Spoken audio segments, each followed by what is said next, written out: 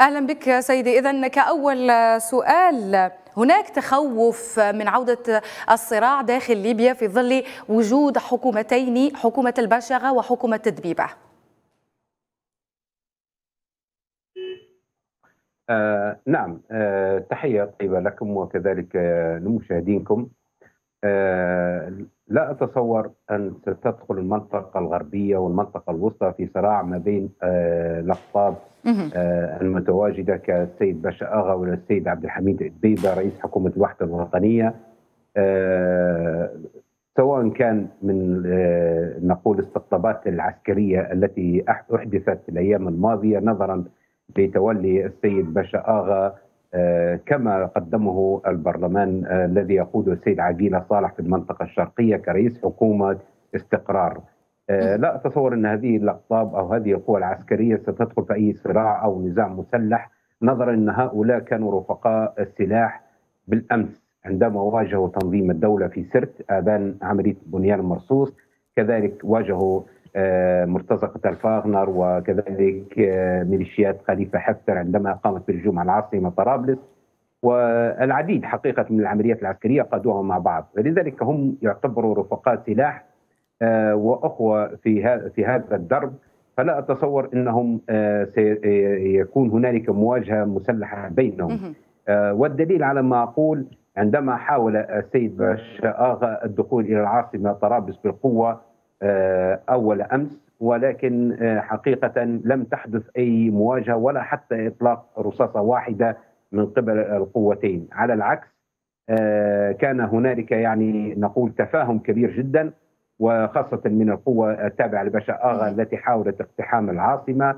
كانت كانت هنالك يعني تفاهمات بينهم وبين القوى الموجودة في العاصمة طرابلس والتي هي نعم. تسعى إلى ضمان إلى تحقيق ضمان الوصول إلى انتخابات برلمانية كما ينادي الشارع لأن طبعا كما أشرنا سابقا ونزيد ونؤكد أن أصبح للشارع الآن صوت حاد وعالي جدا بشأن المطالبة بالذهاب إلى انتخابات برلمانية نعم. و انتهاء الأجسام الموجودة الآن سواء كان مجلس نعم. النواب أو المجلس الاعلى للدولة الموجود في العاصمة تفاديا كذلك سيدي بخصوص يعني عدم العودة إلى وقف إطلاق النار، هل ترى أن أحدهما سيتم يتنازل عن الحكومة تفاديا لأي انزلاق أمني قادما؟ أتصور بمنتهى الوضوح السيد باش آغا سيتنازل. نظرا انه هو حاول آخر محاولاته من خلال الارهاب العسكري أو استخدام القوة العسكرية وإظهار نعم. قوته العسكرية ولكن حقيقة المواجهة التي كانت أمامه والقوه التي كانت أمامه لا قبل له بها وهذه القوة ليست مدعومة فقط من السيد رئيس الحكومة في الوحدة الوطنية ولكن مدعومة من الشارع. هي تحقق مطلب الشارع ألا وهو الذهاب إلى انتخابات برلمانية.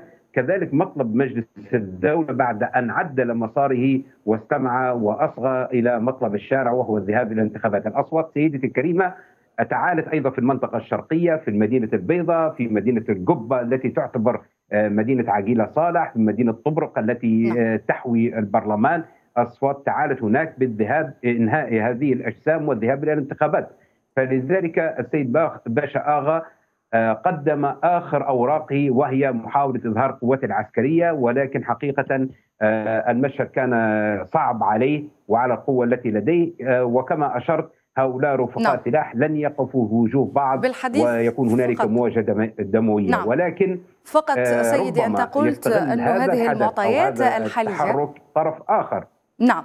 بالحديث عن هذه المعطيات الحالية هل تتوقع أنها ستلغي أو تعرقل مسار الانتخابات الرئاسية المزمع إجراؤها في ليبيا وذلك من أجل إعادة ليبيا البلاد إلى السكة الصحيحة؟